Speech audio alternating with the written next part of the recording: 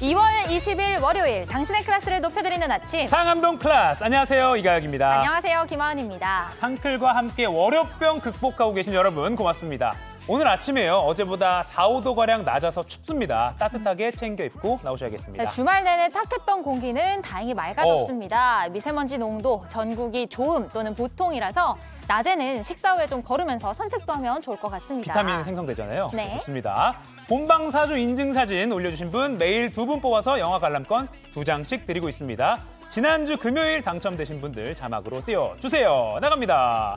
아 휴가 날 아침에도 상암동 클래스 보면서 모닝커피 한 잔이라고 페이스북 올려주신 최종인님 그리고 인스타그램에서 LSH101028님 고맙습니다. 이 향긋한 모닝커피와 함께하기 좋은 상클. 네. 오늘도 상클 1시간 생방송 보시다가 어떤 장면에서든 TV 화면 찍어서 여러분의 페이스북이나 인스타그램에 올려주시면 됩니다. 저희 막 구력샷 찍어도 되는 거예요? 네. 아, 좋습니다. 해시태그 샵 JTBC 샵 상암동 클래스 달아주시면 저희가 추첨을 해서 당첨 사실을 댓글이나 메시지로 전해드립니다. 사진 많이 많이 올려주시고요. 그럼 날씨부터 챙겨보겠습니다. 김민지 기상캐스터. 어제 절기상 우수가 지났는데 다시 공기가 좀 차가워진 것 같아요. 네, 오늘 아침 쌀쌀한 출근길이 예상됩니다. 어제가 비가 내리고 싹이 튼다는 절기 우수였는데요. 어울리지 않게 북쪽에서 찬바람이 내려오면서 전국이 영하권의 추위로 춥겠습니다. 강한 바람에 기온도 많이 낮아졌습니다. 서울의 아침 기온 영하 3도, 한낮에도 영상 2도에 머물러 어제보다 쌀쌀하겠고요. 내일은 일교차도 10도 안팎으로 크겠습니다. 찬바람이 미세먼지를 밀어내 공기질도 청정한 가운데 고기압의 영향으로 대부분 지역에서 맑은 하늘 보실 수 있겠습니다. 다만 제주와 전남 해안은 강풍주의보가 여전히 남아 있어서 강한 바람에 주의해 주셔야겠습니다.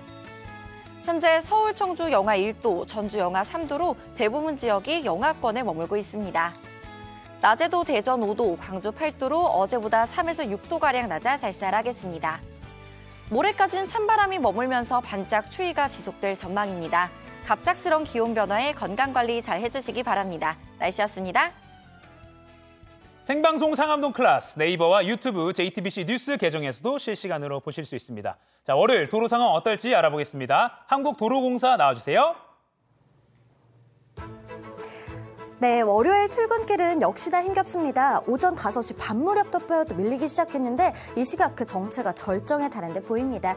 동부간선도로 성수분기점 방향으로 도봉터널부터 끝자락까지 가는데 52분 이상 예상되고요. 강변북로와 올림픽대로는 나란히 행주대교부터 한강대교까지 답답합니다. 한남대교 일대에서는 양방향 정체가 이어지는데요. 여기 강서 쪽으로 가신다면 암사대교부터 서행과 정체를 반복하는데 암사대교에서 반포 대교까지 52분 정도 예상됩니다. 경부선 서울 쪽으로 금토분기점 부근부터 막히기 시작해 반포까지 속도 회복하기 어렵겠고요. 외곽 방향으로 가신다면 특히나 용인시 일대 지나기가 힘겨운데 용인과 서울을 잇는 용인서울선 이용하셔서 서울로 향하신다면 서수지에서 서판교까지 답답하겠습니다. 경인고속도로 서울 방향으로 신월 일대 특히나 답답합니다. 지금까지 고속도로 교통방송이었습니다. 오늘 준비한 소식입니다. 오늘 아침 기온이 뚝 떨어졌고 찬바람까지 불어 춥겠습니다. 공기는 맑습니다. 북한이 오늘 새벽 동해상으로 탄도미사일을 또 발사했습니다. 김여정은 미국에 달렸다고 경고했습니다. 지난해 올랐던 소주와 맥주 가격이 올해 또 인상될 걸로 보입니다. 소주 한 병에 6천 원 전망도 나옵니다. 직장 끝나고 나서 후배들하고 뭐 선배들하고 한잔할 때 좀 심리적으로 너무 좀 타격이 클 것 같아요. 경제적으로도. 지난해 치른 고등학교 학력평가 30만 명 성적이 유출돼 경찰이 수사에 나섰습니다. 세계 공장 중국은 지고 인도가 뜬다. 인도 투자는 머니클래스에서 자세히 짚어보고요. 상클라이프 짧지만 힘 있는 할머니의 말에서 육아에 빛이 보인다. 심윤경 작가 만나봅니다. 북한이 조금 전 동해상으로 탄도미사일을 쐈습니다. 아직 어떤 종류의 미사일 몇 발을 어디로 발사했는지 군이 확인 중에 있습니다. 보도국 연결해서 자세한 소식 알아보겠습니다. 어, 서유정 기자, 일단 자세한 소식 전해주시죠. 네, 북한이 오늘 오전 7시 11분쯤 북한 평안남도 숙천 일대에서 동해상으로 단, 단거리 탄도미사일 두 발을 발사했다고 밝혔습니다. 일본 방위성은 북한이 탄도미사일 가능성이 있는 물체 세 발을 발사했다고 발표했습니다. NHK 등은 북한이 쏜 첫 미사일은 일본의 배타적 경제 수역 밖에 떨어진 걸로 추정되고 두세 번째 미사일도 떨어진 걸로 보인다고 보도했습니다. 북한의 도발은 지난 18일에 이어 이틀 만입니다. 김여정 노동당 부부장은 지난 18일에 이어 오늘 다시 조선중앙통신에 담화문을 내고 미국의 움직임에 따라서 태평양을 사격장으로 활용할 거라고 밝혔습니다. 서 기자가 얘기한 것처럼 앞서 이틀 전 토요일에도 북한이 미사일을 쐈는데 이렇게 도발이 계속 이어지는 이유는 뭡니까? 네, 오늘 재도발은 어제 있었던 한미연합 비행훈련에 대한 반발 성격으로 분석됩니다. 한미 군당국은 어제 불시 연합 공중훈련을 실시했는데요. 지난 18일 있었던 도발에 맞대응하는 차원에서 실시된 겁니다. 특히 이번 훈련에는 한국 공군의 F-35A와 F-15K를 포함해 죽음의 백두로 불리는 미국 비원비 전략폭격기가 연합 편대 비행을 펼쳤습니다. 앞서 지난 18일 북한은 오후 5시 20분쯤 동해상으로 대륙간 탄도미사일을 발사했는데요. 북한이 쏜 건 최근 열병식에서 공개한 신형 화성 17형이 아닌 화성 15형으로 확인됐습니다. 북한은 특히 당일 아침에 김정은 국무위원장의 명령을 받고 발사가 불시에 계획된 것임을 강조했습니다. 지금까지 보도국에서 전해드렸습니다. 정찰 풍선 논란이 채 가라앉기도 전에 중국이 러시아에 무기를 대줄 거란 폭로까지 나왔습니다. 미국과 중국의 외교수장이 독일 뮌헨에서 만났지만 갈등의 골은 더 깊어진 모습입니다. 워싱턴 김필규 특파원입니다. 린다 토머스 그린필드 주 유엔 미국 대사가 방송에 나와 중국을 향해 강하게 경고했습니다. Chinese and others to provide lethal support to the Russians in their brutal attack against Ukraine. That that is unacceptable. Again, uh, that would uh, be a red line. 구체적으로 언급하진 않았지만 레드 라인을 넘으면 그 대가를 치르게 될 거라고도 했습니다. 블링컨 국무장관 역시 이미 러시아에 비군사적인 지원을 하고 있는 중국이 탄약이나 무기 등 살상 무기까지 주려한다고 폭로했습니다. 앞서 독일 뮌헨 안보회의에서 왕이 중국 공산당 중앙정치국 위원을 만난 그는 중국 정찰 풍선 문제에 대해서도 논의했지만 접점을 찾지 못한 걸로 전해졌습니다. 미국은 중국의 조직적인 스파이 활동을 비판했고 some years. This program's been, around for a few years. Uh, so there's a real concern that I'm hearing here from other countries, from allies and partners alike. 왕이 위원은 외교부 입장문을 통해 오히려 풍선을 격추한 미국이 무력을 남용했으며 똑같이 중국으로 풍선을 보낸 미국은 중국을 모독할 자격이 없다고 맞섰습니다. 중국이 전쟁에서 러시아 편을 들 거란 우려가 커지면서 이제 우크라이나에 전투기를 지원해야 할 때라는 미국 정치권의 목소리도 커지고 있습니다. And I would say that the sooner we can bring this to to a to a closing, the better. Um, as we look at the will of the American people and the Congress, um, I think we need to give them everything they need to win this thing. 워싱턴에서 JTBC 김필규입니다. 튀르키예 지진이 발생한 지 어느덧 2주가 지났습니다.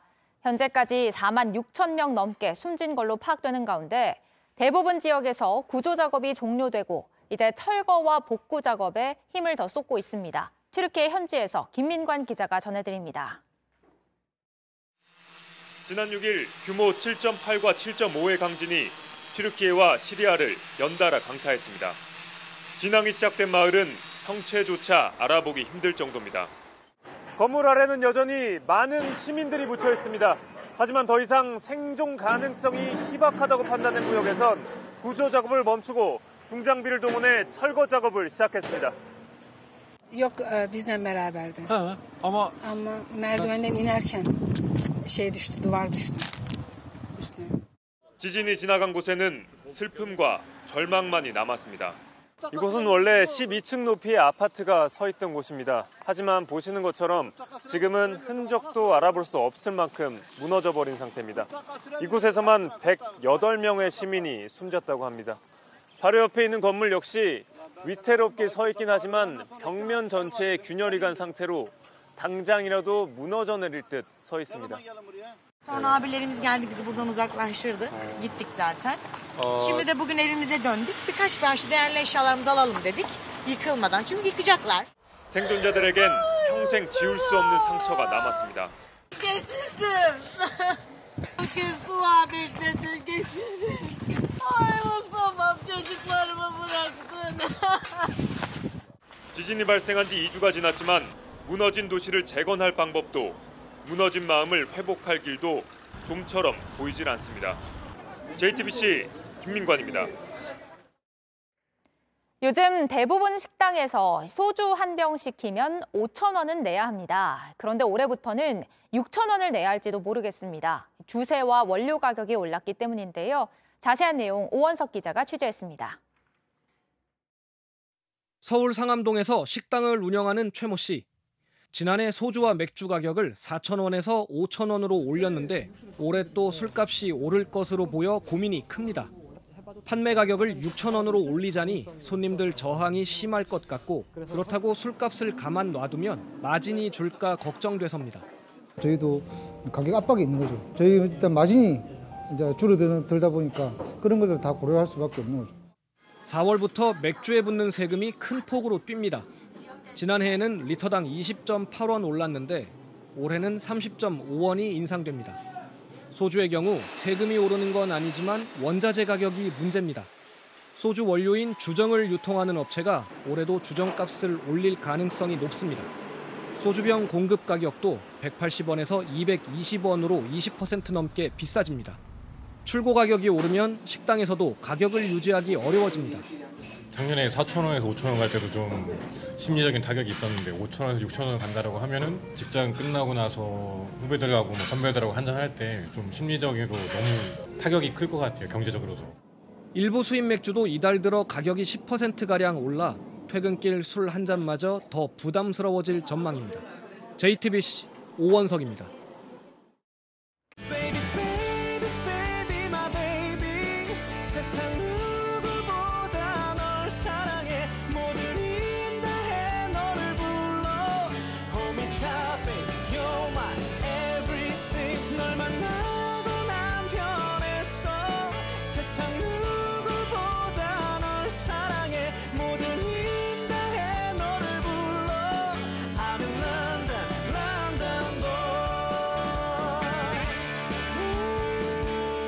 네, 두 분 뽑아서 영화 관람권 드리는 생방송 인증샷 이벤트 계속하고 있습니다. 여러분의 인스타그램이나 페이스북에 이 방송 보시는 장면은 1시간 내내 어느 장면에서군요.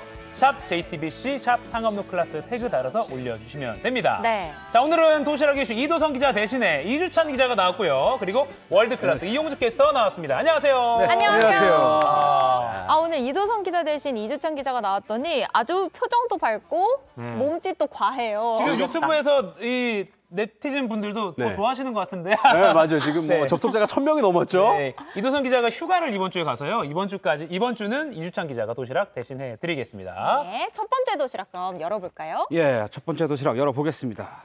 이거 잘 들어야 되는데. 네, 이렇게- 어우야. 어우, 이거 네. 개편하고 저기 네. 네. 처음이어가지고. 네, 보여주시죠. 네, 맞아요. 하나, 둘, 셋. 빠밤. 예, 내 성적을 알고 있다. 지금 카메라 예. 감독님도 당황하셨어요. 네. 자, 어떤 내용인가요? 예, 지난해 11월 치러진 전국 연합 학력 평가 성적 파일이 온라인에 지금 유포돼서 경찰이 수사에 나섰다는 소식입니다. 아, 이게 학생들 사이에서 난리더라고요. 그 어. 정부 유출 관련 소식은 사실 심심찮게 나오고 있는데 이 학평이라고 하죠. 학력 평가를 본 학생들의 정보가 어. 유출됐다. 이 얘기는 처음 들어보는데 음. 얼마나 많은 양이 유출이 된 건가요? 예, 해당 학생이나 학부모는 지금 황당함을 넘어서 지금 분노에 이르고 있는데요. 네. 영상부터 한번 보시겠습니다. 네. 예, 토요일 밤 SNS 대화방에 올라온 파일인데요. 2학년 개인 성적표라는 제목으로 되어 있죠. 아. 지난해 11월 전국 연합 학력 평가에 응시한 고등학교 2학년 학생의 이름과 소속 학교, 과목별 성적 등이 나와 있습니다. 아이고. 주민번호나 휴대전화 번호 등은 이제 포함되어 있지 않습니다만 네. 정보 유출 피해자는 전국 17개 시도교육청 중 경남과 충남을 제외한 15개 교육청에 속한 학생 30만 명에 이를 것으로 추정되고 네. 있습니다. 30만 명이면 아주 큰 숫자인데 근데 이게 처음에 어떻게 유출이 된 거예요?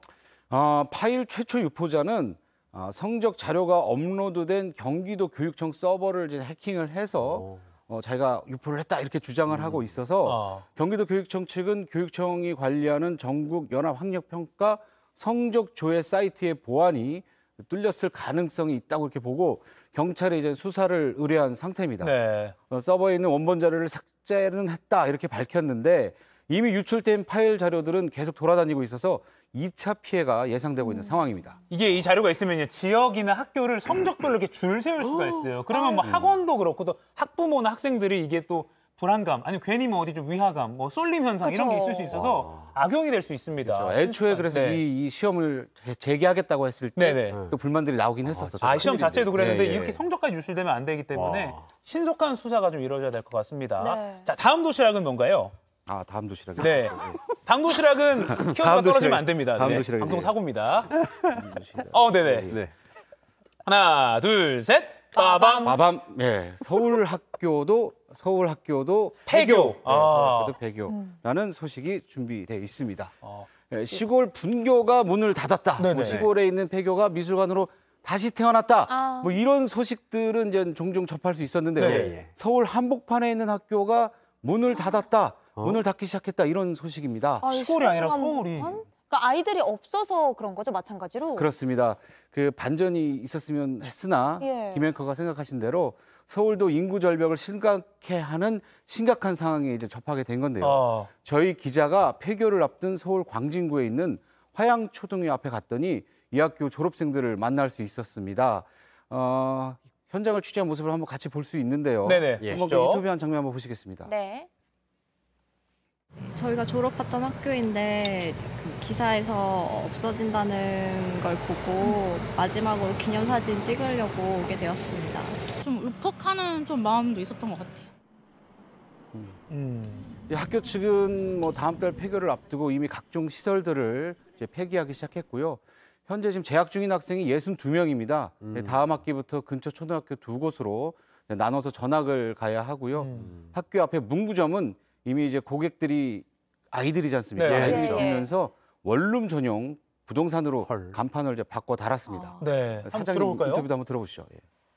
주변에 이제 애들이 많이 줄었죠. 초창기에는 학생이 너무 많아서 오전반, 오후반 있었어요.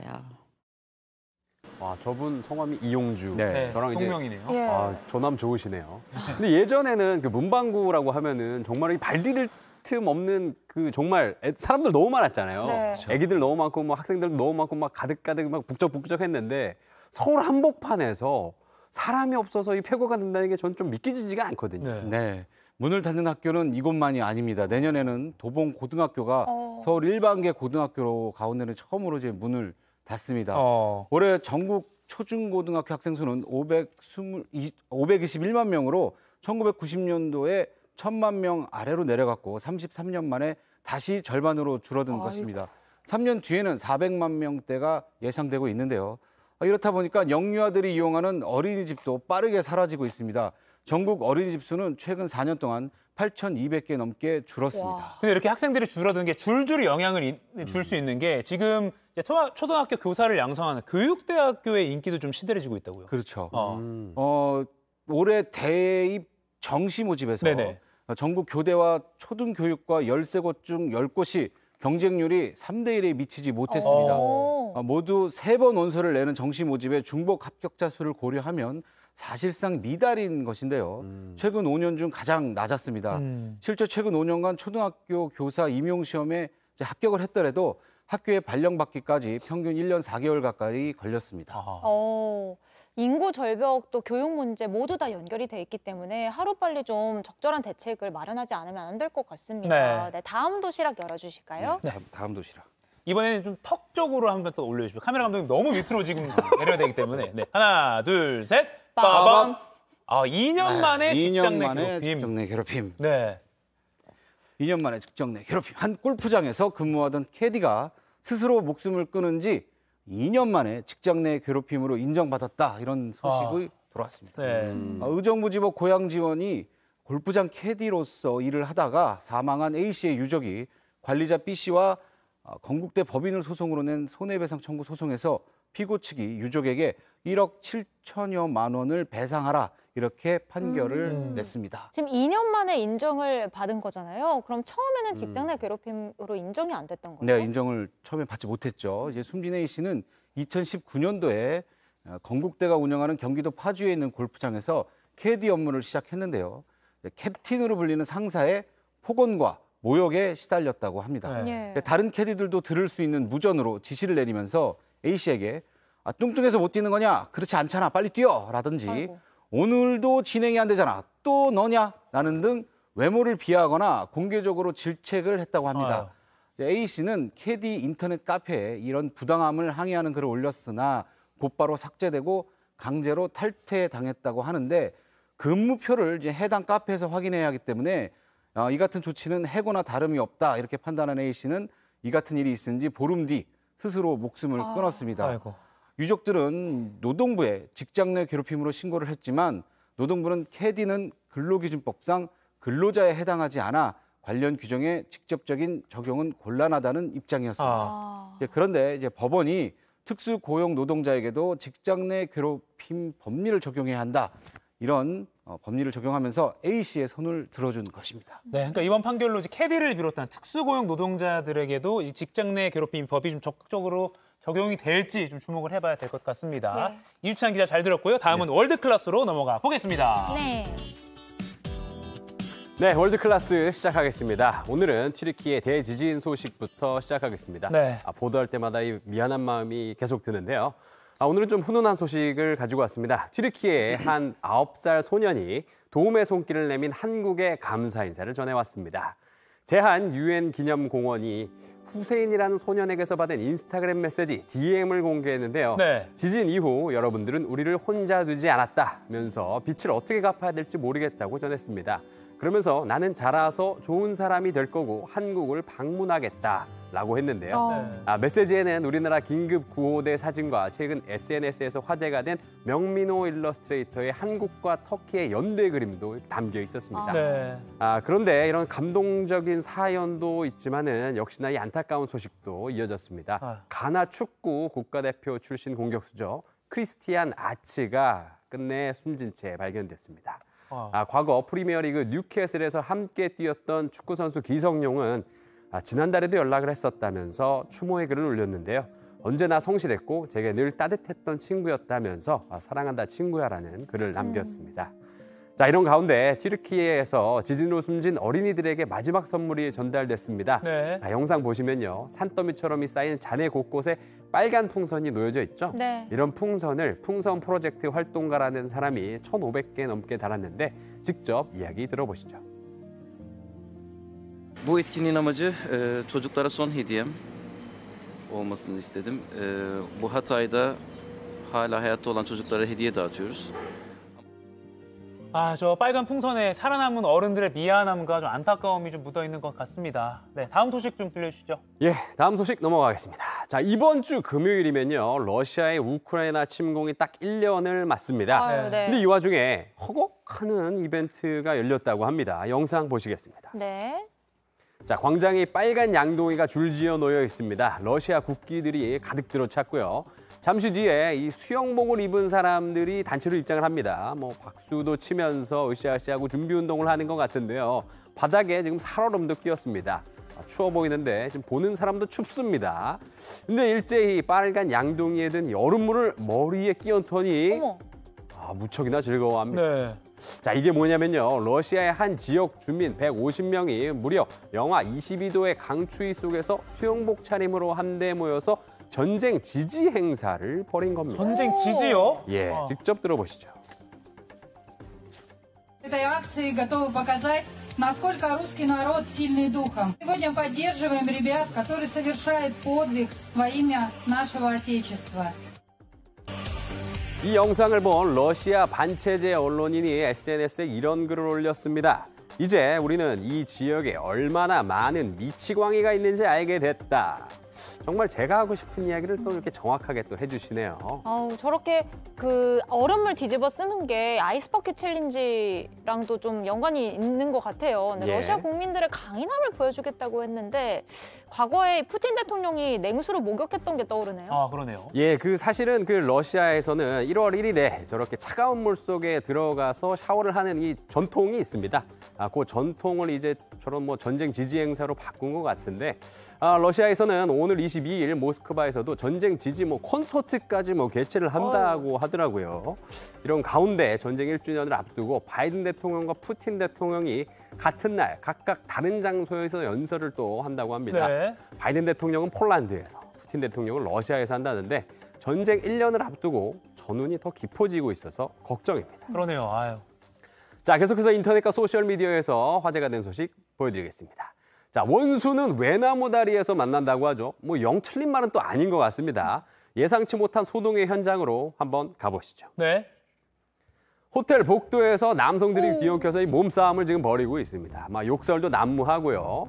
지금 무슨 상황이냐면 러시아 축구리그의 FC 신니크 야로슬라불과 아, 우크라이나의 FC 미나치 선수들입니다. 이 러시아 축구팀, 우크라이나 축구팀이요? 그두 나라가 축구를 같이 할 상황은 아닌 것 같은데 왜 저렇게 같이 섞여 있는 거죠? 아, 지금 이 선수들이 있는 곳은 튀르키의 한 호텔인데요. 이 갑작스런 지진 때문에 여기서 같이 좀 묵게 됐다고 합니다. 오. 안 그래도 이 전쟁으로 서로에게 감정이 좋을 리가 없겠죠. 러시아 선수들이 호텔 직원에게 수치스러운 행동을 시키니까 러시아 우크라이나 선수들이 이에 반발하면서 이 말다툼이 발생을 했고요. 점점 이 격화가 되면서 어, 결국 서로에게 주먹을 들어 올린 것으로 알려졌습니다. 아 정말 이 원수는 이 외나무 다리에서 만난다고 그러더니 이게 딱 이 그 그런 상황이네요 이게. 예, 그렇습니다. 이 집단 난투극으로 러시아 선수 네명이 부상을 당했는데요.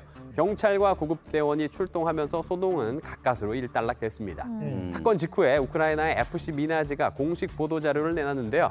러시아 선수들이, 선수들이 먼저 소동을 일으켰다면서 러시아 선수들이 싸움에서 이겼다는 건 잘못된 정보라고 또 주장을 했습니다. 아 근데 진짜 전쟁이 일어나면 꼭 일어났던 곳뿐만이 아니라 세계 곳곳에서 이렇게 갈등이나 미움이 넘쳐나게 되잖아요. 너무 안타깝습니다. 예, 그 지금 러시아와 우크라이나 전쟁이 만 1년째로 접어들고 있잖아요.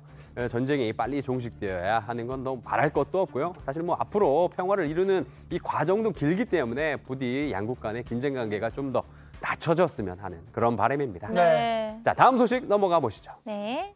자, 이번에 요즘 그 온라인 커뮤니티에서 아주 핫한 그림 좀 보여드리려고 합니다. 한 여성이 지금 카메라를 보면서 이 멍한 표정을 짓고 있는데 배정, 배경은 조금씩 다른 이 숲속입니다. 근데 이 여성만큼은 공통적으로 등장을 하죠. 뭐 이게 분위기가 아주 묘해요. 유명한 작가인가요? 예, 그린 게? 그러니까 근데 이게 사람이 그린 게 아닙니다. 인공지능 AI한테 이 일본에 있는 이른바 이 죽음의 숲을 그려달라고 한 뒤에 얻어낸 결과물입니다. 근데 이참 이상한 일이죠. 아무리 이몇 번을 반복해서 실행해도 이 배경만 살짝이 달라질 뿐 그림에 계속 같은 여성이 등장을 했다는 어. 거죠. 키워드가 죽음의 숲인 거죠? 예, 그러니까 미스테리한 일이다, 오싹하다 하면서 사람들의 호기심 어린 반응이 쏟아지고 있습니다. 그 그림 그린 것도 인공지능이고 소재도 죽음의 숲이라서 좀 더 뭔가 묘하게 느껴지네요. 예, 아무래도 뭐 그런 게 좀 있겠죠. 네. 이 죽음의 숲은 일본 후지산 기슭의 아오키가하라라는 이 원시림을 말하는 건데요. 숲이 워낙에 깊어서 한 번 들어가면 쉽게 나올 수가 없고요. 수많은 유류품과 신원을 알 수 없는 백골이 발견돼서 이른바 자살의 숲이라고 불리는 곳입니다. 이런 배경을 알고 나면 이 그림이 더 무섭게 느껴질 수밖에 없겠죠. 아 근데 요즘 또 과학으로 화성도 가는 시대이기 때문에 이것도 아마 원인이 있지 않을까 싶어요. 네, 애초에 뭐 검색어의 오류일 것이다, 아니면 뭐 인공지능 AI가 자료를 수집할 때 뭔가 이 잘못된 이미지가 끼어 있을 것이다. 여러 추측이 지금 나오고 있습니다만 아직까지 이 같은 현상에 대해서 정확한 원인이 밝혀지진 또 않았습니다. 과연 진실은 무엇일까요? 지금까지 월드 클래스였습니다.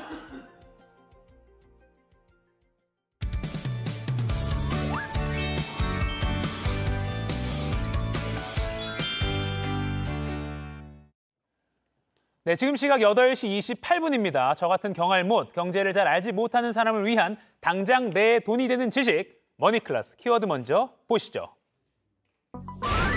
중국은 지고 인도가 뜬다. 자, 오늘은 좀 시야를 넓혀 보겠습니다. 이 세계 경제 규모 순위 1위 미국, 2위 중국, 이 최강 대, 대국 자리를 놓고 이 두 나라가 경쟁하는 와중에 빠르게 힘을 키우는 또 다른 대국이 있었으니 바로 인도입니다. 이 특히 세계 공장 중국이 이 코로나 팬데믹과 미국의 압박 때문에 주춤하는 사이 인도가 Welcome to India를 외치고 있습니다. 글로벌 기업들의 관심이 중국에서 인도로 옮겨가는 이 흐름을 짚어보고요. 그럼 우리는 인도 관련 투자를 어떻게 할지까지 전문가와 함께 알아보겠습니다.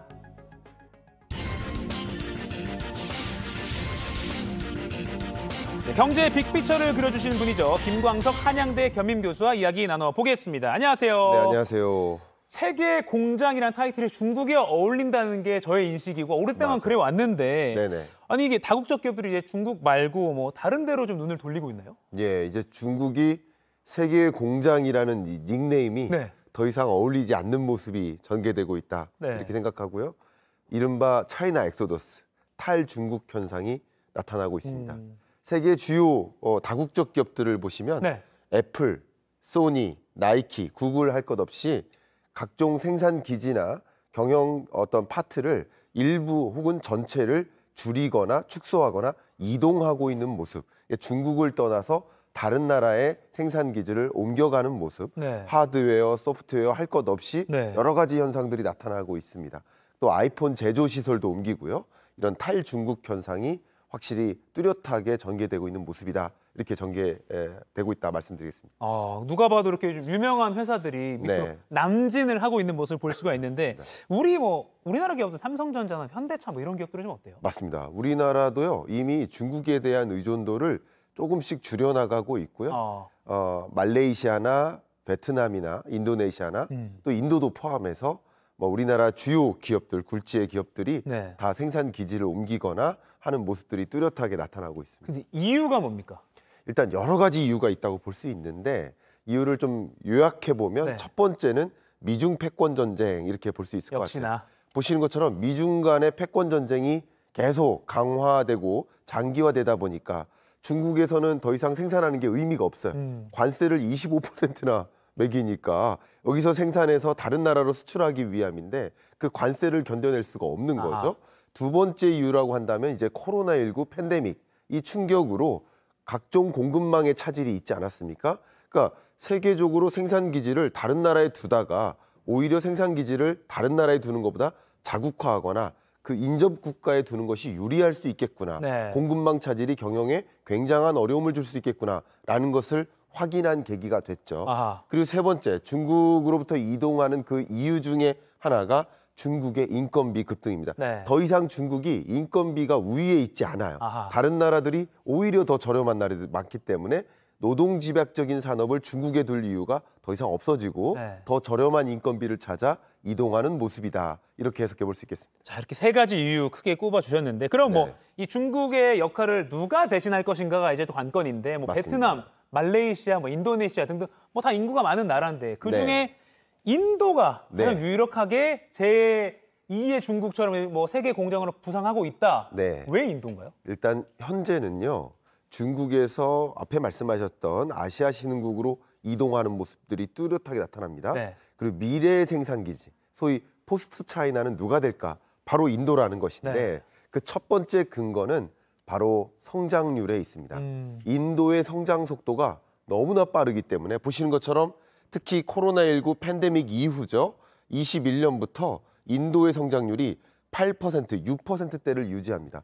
중국의 성장률보다 높아요. 그러니까 팬데믹 때 잠깐 확 떨어졌어도 바로 회복을 또 했네요. 엄청나게. 네, 맞습니다. 1991년 인도가 경제 개혁을 시작했는데 네. 그때부터 인도 경제가 세계 GDP 순위로 봤을 때 뭐 13위 정도에 머물렀다가 2010년대 들어서 10위권으로 2021년 들어서 이제 6위권으로 그리고 23년 올해 음. 5위권으로 진입합니다. 이게 높은 성장 속도에 기인해서 이렇게 중국 경제가 오히려 인도에 의해서 압도되고 있는 모습이 점차 나타나는 것으로 보고 있습니다. 네. 두 번째 이유라고 볼까요? 그것은 인구라고 좀 꼬집어 말씀드릴 네. 수 있을 것 같아요.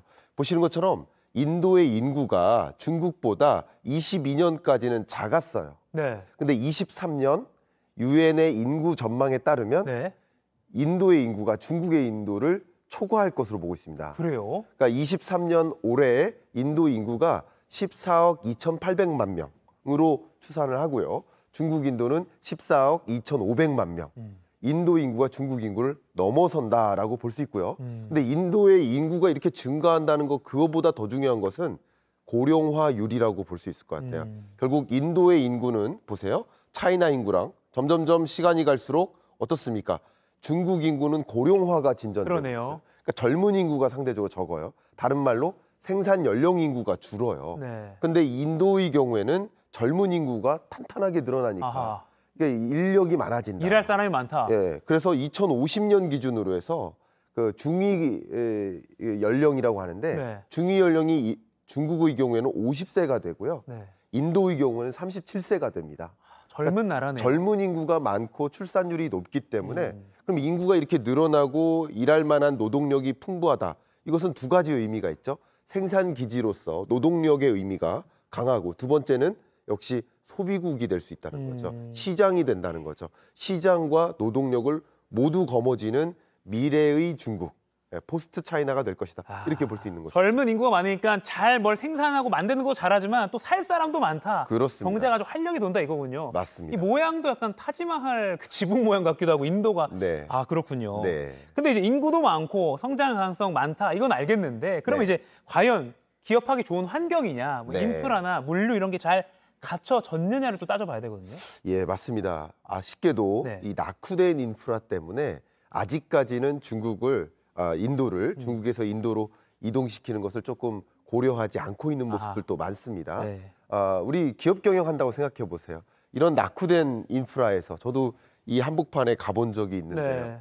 정말 이 물류 인프라가 부족하고요. 전기 인프라, 통신 인프라, 각종 이런 도로나 항만 인프라 이런 것들이 충분하지 않으면 경영 전략하기가 굉장히 어렵고 그렇죠. 생산된 물건을 사실 이제 수출로 연결시키는데 굉장히 많은 비용과 부담이 들겠죠. 네. 결국 인프라 조건을 개선해야 되는데 마침 2014년이죠. 네. 모디 정부가 들어서면서 이 노동법 개혁이라든가 법인세를 정상화한다든가 여러 가지 조치들, 그러니까 소위 제조업 육성 전략을 발표했는데 거기서 선언한 것이 Make in India. 아, Make in India 이 전략 중에 또 한 가지가 중요한 게 바로 인프라, 낙후된 인프라를 개선해서 경영하기 좋게 만들자 음. 하는 방향성이고 인도가 그동안에 서비스업은 굉장히 강했습니다. 제조업이 좀 열악했는데 제조업도 육성해 버리면 말 그대로 세계적인 강국이 될 수 있다라는 그림을 그리고 있고요.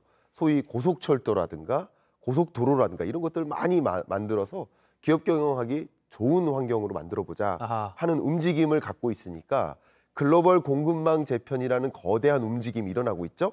이것과 중국의 제조업 육성 전략이 마중물 역할을 하면서 아. 인도가 중국을 대체할 세계의 공장으로 부상할 가능성이 높겠다 이렇게 네. 진단해 볼 수 있겠습니다. 오늘 키워드가 이제 중국은 지고 인도는 뜬다인데 네. 뭐 그렇다고 해서 바로 뭐 기업들이 뭐 중국과 결별하고 뭐 인도로 넘어가야 된다 뭐 네. 이런 말은 아닌 거잖아요. 절대 중국을 배제하자는 말이 아닙니다. 네. 중국은 우리나라 전체 수출의 25%나 차지합니다. 네. 정말 단일 최대 수출 대상국이에요. 네. 그러니까 중국과 교류를 막자라는 것이 아니라 다변화하자라는 음. 것이고 중국으로부터의 수출을 혹은 중국과의 공급망을 이제 배제하거나 없애거나 하는 것이 아니라 다른 주요국들과의 공급망 혹은 뭐 아, 수출입 거래, 신시장 개척 이런 것들을 적극적으로 추진하고 음. 인도를 중요하게 고려하자라는 것입니다. 다변화라는 단어를 써야지 중국을 배제하자는 것이 아닙니다. 음. 원래 공장 기지를 옮길 때 이게 한 해 두 해 걸리는 게 아닙니다. 한 달 두 달 걸리는 게 아니에요. 수년이 걸립니다. 그렇기 때문에 당장 중국을 배제하자, 떠나자 이것은 아닙니다. 네. 근데 이것이 왜 중요하냐? 다변화가 왜 중요하냐? 우리가 작은 공격에도 큰 충격을 받은 적이 있어요. 19, 천, 아, 2019년이죠. 네네. 일본으로부터의 반도체 소재 수출 맞아요. 차단 네. 흔들린 적이 있죠. 또 얼마 전에 중국으로부터 요소 공급이 차단돼서. 요소수 대란이 났었죠.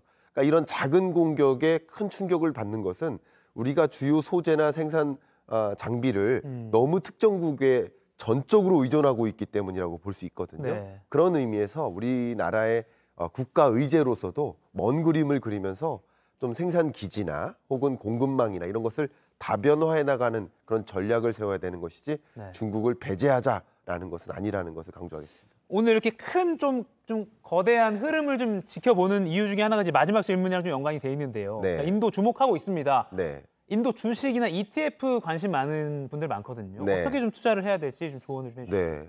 인도 투자는 우리가 뭐 미국에 있는 주식을 투자하듯이 네. 직접 투자하기가 불가능합니다. 현재로서는. 그래서 간접 투자하는 방식을 좀 말씀드리고 싶은데 네. 떠오르는 인도 ETF에 투자를 하라 아하. 이 말씀을 드리고 싶어요.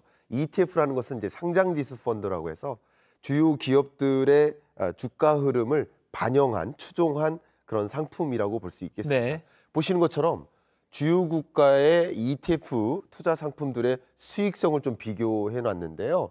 인도의 수익성이 압도적으로 높죠. 음. 어, 중국이나 아, 미국이나 한국 같은 경우 굉장히 낮죠. 그러니까 이렇게 인도의 전반적인 이게 주로 니프티 지수라고 해가지고 인도를 구성하는 50대 기업들의 주가의 흐름을 종합한 아. 아, ETF 상품이라고 볼 수 있겠는데 굉장히 급격하게 올라갔네요. 예, 굉장히 높고요. 이것은 이제 연평균으로 봐도 그냥 압도적으로 높습니다. 그러니까 인도의 그런 성장세에 주목하는 투자법이라고 좀 생각해 보면 도움이 될 것 같습니다. 네. 그 외에도 우리 직접 투자는 아직 불가능하기 때문에 네. 현재로서 할 수 있는 것이 이제 상장 지수 펀드 ETF 투자인데요. 아, 미국 같은 경우도 여기 보신 것처럼 아이쉐어 MSCI 인디아 ETF. 그러니까 인디아 인도의 주요 기업 중에 MSCI에 편입되어 있는 기업들이 있습니다. 아. 이 기업들의 주가를 추종하는 ETF 상품이라고 볼 수 있고요. 앞에 설명해 드렸던 KOSEF 인도 Nifty 50이라든가 TIGER 인도 Nifty 50 레버리지라든가 어. 이런 인도의 어떤 주요 기업들에 추종하는 ETF 상품들이 있으니까 여러분 투자에 관심이 있으시다면 네. 한번 고려해 보시는 것도 어떨까 요 의견을 드리고요. 네. 다만 우리가 주의해야 될 것이 있습니다. 아, 신흥국이기 때문에 아, 급등락할 수 있습니다. 음. 첫 번째 불안정성이 좀 높을 수 있습니다. 아, 첫 번째고요. 두 번째는 특히 원유 수입 의존도가 굉장히 높기 때문에 아. 국제 유가가 높아지거나 혹은 환율에 굉장히 이렇게 민감하게 반응할 수 있거든요. 네. 이런 여러 가지 주의할 사항들을 고려하셔서 중장기적으로 인도 투자를 좀 고려하신다면 적극적으로 좀 살펴보시는 것도 어떨까 의견 드리고 싶습니다. 시장 자체는 아주 가능성이 크지만 유가나 환율에 민감한 그런 기업들이 많다, 상장사가 많다. 그렇습니다. 요거까지 체크하고 가겠습니다. 지금까지 김강석 한양대 교민 교수와 이야기 나눠봤습니다. 고맙습니다. 감사합니다.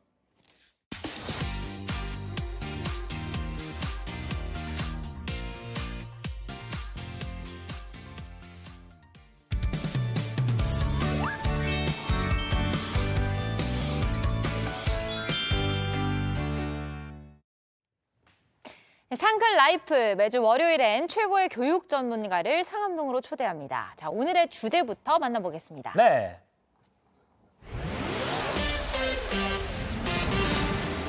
짧지만 힘 있는 할머니의 육아 언어. 요새 워낙 많은 이 육아 정보가 온라인에서 유통되잖아요. 근데 요 키워드만 딱 보니까 뭔가 새로운 깨달음을 얻어갈 수 있는 시간일 것 같습니다. 네, 기대가 됩니다. 음, 기대하셔도 좋습니다. 네. 자, 오늘 함께 이야기 나눌 분 모셔볼 텐데요. 할머니의 육아법에 대한 기억과 감정을 에세이로 옮긴 나의 아름다운 할머니의 저자, 소설가 심윤경 작가님 나오셨습니다. 안녕하세요. 안녕하세요. 야, 나의 아름다운 할머니. 요 책이 온라인에 좀 찾아보니까 잘 팔리고 있더라고요. 네, 근데 이 제목을 보면 어린 시절에 참 할머니야 애틋하게 아름답게 보내셨겠다라는 생각이 드는데 이 작가님의 할머니는 좀 어떤 분이셨나요? 예, 저희 할머니는 굉장히 온화하고 차분하고 따뜻한 분이셨어요. 어. 어, 저 사진에 보이는 저 모습이 저희 할머니를 그대로 보여주는 저 표정, 저 손녀를 바라보는 저 담담하면서도 편안한 표정, 저 모습이 저희 할머니를 그냥 보여주는 모습입니다. 오, 네. 작가님이 할머님을 닮은 것 같아요. 것 닮았습니까? 같아요. 네. 네, 그런데 이 나의 아름다운 할머니라는 책이 육아를 이렇게, 저- 이렇게 알려주는 육아의 비법을 알려주는 책은 아닌데, 근데 아이를 키우는 부모님들의 공감을 많이 얻고 있습니다. 이 책을 어떻게 쓰게 되신 거예요? 예, 저도 할머니가 돌아가신 지 벌써 30년이 되었기 때문에 음. 뭐늘 할머니를 생각하면서 제가 살지는 않죠. 그런데 제가 아이를 키우게 되면서 아이를 낳아서 키우면서 아, 일단 어떻게 해야 할지 모르겠고 제가 생각했던 것보다 너무 헷갈리고 이렇게 내 뜻은 좋은 뜻으로 이렇게 했는데 아이는 굉장히 다르게 받아들이고 그런 일들이 여러 번 일어나면서 이제 특히 사춘기가 찾아오면서 어 이건 뭐지? 내가 뭘 완전히 잘못하고 있나? 그런 어 혼란에 빠지게 되었을 네. 때 그때 할머니를 생각하게 되었고 할머니가 나에게 해주셨던 것들 말과 행동이 아 뭔가 중요하고 소중한 아주 효과적인 음. 의미들을 담고 있었다. 있구나라는 걸 뒤늦게 깨닫게 됐습니다. 아, 그렇군요. 뒤늦게 나중에서야 깨닫게 된 그 비법들 지금 책 속에 담겨 있을 텐데요. 첫 번째 키워드로 먼저 만나보겠습니다. 네. 키워드 보여주세요. 할머니의 다섯 단어. 오, 이 다섯 단어 어떤 단어예요? 예, 저희 할머니는 정말 말이 없는 분이었기 때문에 네. 무슨 말을 많이 하지를 않으셨어요. 음. 정말 할머니 침묵 그 자체다라고 생각을 해서 어, 할머니가 했던 말, 한평생 하셨던 말씀을 다 받아 적기를 해도 네. 뭐 A4, A4 용지 몇 장 안 넘어갈 것 같아요. 오. 그런데 그 중에서 가장 반복적이고 일관적으로 쓰셨던 다섯 단어를 이제 열 글자, 제 느낌엔 열 글자인데 이게 어, 사투리다 보니까 글씨로 쓰면 열두 글자가 되더라고요. 네. 그 다섯 단어가 그려, 안 뒤야, 뒤았어, 몰러, 웠죠. 오. 그려, 안 뒤야, 뒤였어, 몰러, 몰러. 묻죠. 아, 지역이 어느 분, 어느 지역이세요? 충청도. 아. 예.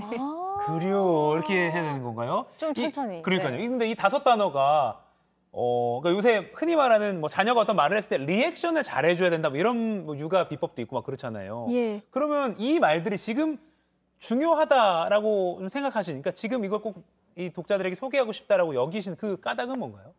어, 제가 사춘기가 된 아이를 키우면서 네. 제 나름대로 굉장히 잘하고 있다는 소통이 네. 온갖 부작용과 꽉 막힘에 부딪혔어요. 제가 음. 막전 나름 작가니까 말을 잘한다고 생각해서 이런저런 이야기를 했는데 네. 다안 좋은 반응이 돌아오고 오히려 오해와 불만족을 낳는데 그때 이제 아 내가 말을 좀 줄여야겠다라고 아. 생각했고 저도 모르게 제가 어린 시절에 많이 들었던 그 말들로 천천히 돌아가게 된 거죠.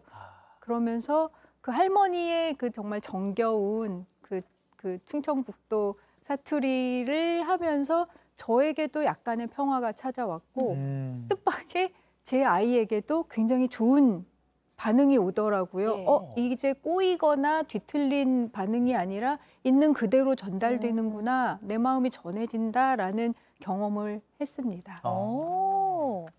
그래서 그런 말들이 이제 와서 이렇게 좀 더 새롭게 더 느껴지셨구나라고 하는데 네. 그럼 그래 안 돼 이거는 좀 yes or no인가요 그대로 어떻게 해서 그렇죠. 어. 예, 그대로입니다. 네. 그려, 네. 안 돼야.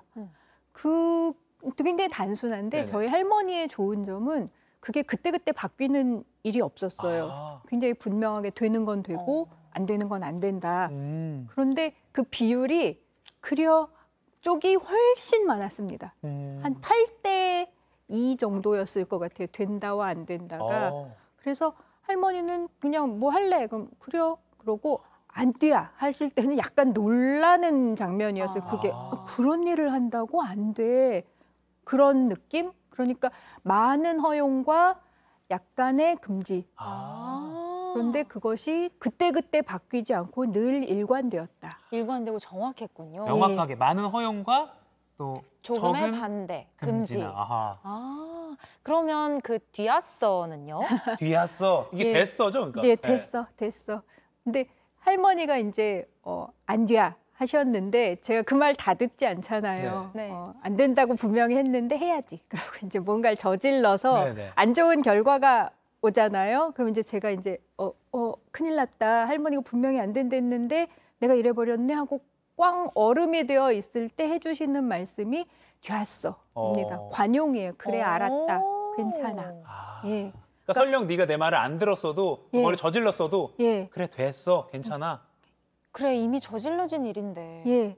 그렇군요. 비난하지 않으셨어요. 아 벌써 좀 따뜻한 네, 느낌이 따뜻해요. 드는데 네. 그럼 몰러는요? 몰러 몰러, 몰러. 그 말씀도 참 자주 하셨는데요.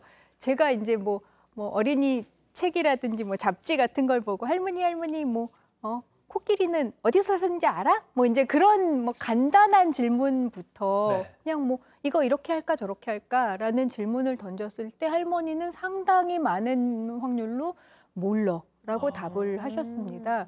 그런데 제가 흔한 말이죠. 모르, 모른다, 난 모른다라는 말이. 그런데 제가 아이를 키우면서 부모가 되어 보니까 제일 하기 힘든 말이 저에게는 몰라더라고요. 어. 뭔가 아이한테 제가 알고 해결책을 내놓아야 할 것만 같은 이상한 쫓김이 맞아요. 저의 내면에 있어서 전 할머니의 다섯 가지 말씀 중에 몰라가 제일 하기가 힘들었어요. 왜냐면 요새 맘카페 가면요. 뭐 아이가 이런 이런 거 물어보는데 어, 디서 구할 수 있죠? 막그 다급함의 어떤 질문들이 굉장히 많거든요. 근데 뭘로라고 해도 되는 거군요. 예, 어. 그될 뿐만 아니라 제가 놀랐던 거는 제가 어 몰라 엄마 몰라라고 대답했을 때 어. 아이가 좋아해요. 어. 네, 그것을 당황스러워하고 왜 엄마가 몰라라고 하지 않- 비난하지 않고 아 엄마 몰라. 어, 아 그럴 줄 알았어. 어, 편안하게 받아들이더라고요. 아, 그러니까 어, 모른다라고 말하는 게 그렇게 어려웠던 것이 사실은 제가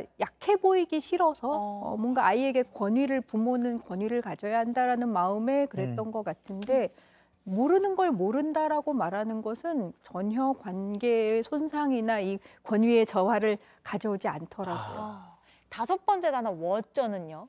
아, 어쩐 또 정말 많이 듣고 자란 말인데 어떡하니, 아이고 어떡하니 에 해당하는 말씀이에요. 그러니까 공감의 말이죠. 제가 이제 뭔가 잘못되고 뭔가 낙심해 있을 적에 할머니가 왔죠. 그렇게 말씀을 해주시는데 그게 어떤 문제의 해결이 전혀 되지 않거든요. 예, 예, 예. 그냥 저는 제가 빠진 상황에 그대로 있을 뿐인데도 그 말씀 하나만으로 제가 굉장히 힘을 얻었어요. 정말.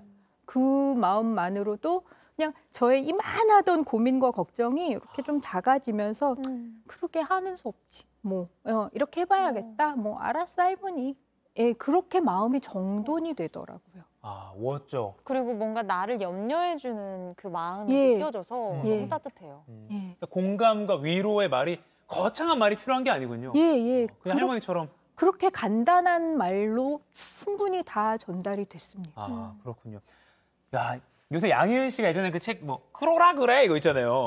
근데 이 약간 그런 것처럼 현대인들한테 어쩌면 많은 어떤 글과 무슨 막, 막 지식과 논문과 이런 것보다 할머니의 그 말이 어떤 위로가 되고 힐링이 예. 되는 것 같고 또 육아에도 이렇게 새로운 또 빛을 주는 것 같습니다. 음. 저희가 이렇게 시간이 짧을 줄 알고 또 오늘 월요일 본 방송 끝나면 바로 유튜브로 또 작가님과 만나볼 겁니다. 네. 작가님께서 아이는 부모의 빈틈에서 자란다라는 설명을 해주실 건데요. 그거까지 이교시때 함께 들어보도록 하겠습니다. 네. 본 방송 끝나고 날씨 듣고 신민경 작가님과 더 이야기 나눠보겠습니다. 잠시만 기다려주세요, 작가님. 고맙습니다. 고맙습니다. 감사합니다.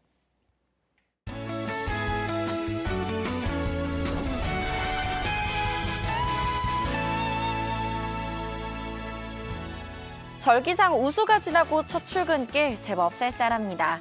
절기답지 않게 찬바람이 내려오면서 전국이 영하권으로 뚝 떨어졌습니다. 강한 바람이 미세먼지를 밀어내면서 하늘은 깨끗하겠는데요. 날은 맑지만 바람이 강해서 체감 온도는 더 낮겠습니다. 서울은 체감 온도가 현재 영하 5.4도까지 뚝 떨어져 있어, 있어서 쌀쌀하겠습니다. 갑작스러운 기온 변화에 건강 잃지 않도록 주의해 주셔야겠습니다. 고비압의 영향으로 대부분 지역에서 맑은 하늘 보실 수 있겠습니다. 다만 울릉도와 독도는 오늘 저녁부터 내일 새벽 사이 1에서 5cm의 눈이 내리겠고요. 제주와 전남 해안에 강한 바람이 불고 전 해상에 물결이 거세게 일겠습니다. 자세한 지역별 현재 기온 보시면 현재 서울, 청주 영하 1도, 전주 영하 2도로 대부분 지역이 영하권에 머물고 있습니다. 낮 기온은 서울 2도, 광주 8도로 어제보다 쌀쌀하겠습니다. 주 초반까지는 찬바람이 머물면서 반짝 추위가 지속되겠고요. 주 중반부터 낮 기온이 오름세 보이겠습니다. 날씨였습니다. 자, 오늘 월요일 새로운 한 주 잘 시작하셨나요? 혹시 학교 생활 하다가 혹은 직장 생활 하다가 주변에 속상한 일, 화나는 일 겪은 동료나 가족에게? 왜 왔어? 아니면 뭐었죠? 어쩌. 속상했겠다. 이렇게 좀 공감하면서 다독여주면 좋을 것 같습니다. 네, 오늘 본 방송 마치고 바로 이어지는 유튜브 방송 상끌 이교시 할머니를 닮고 싶다는 이 꿀짱아의 엄마 음. 심은경 작가와 육아 이야기 좀 더 나눠보고 아까 미처 전해드리지 못했던 내용도 네. 함께 다뤄보겠습니다. 네, 어디 가지 마시고요. 지금 바로 화면에 보이는 QR코드 찍고 유튜브 JTBC 뉴스 계정으로 들어오셔서 댓글 많이 많이 남겨주세요. 네, 그럼 상암동 클래스 본방송은 여기서 마치겠습니다. 여러분 오늘도 상클하세요. 이 교실에서 만나요. 이겨버린 꽃처럼 아플 때도 쓰러진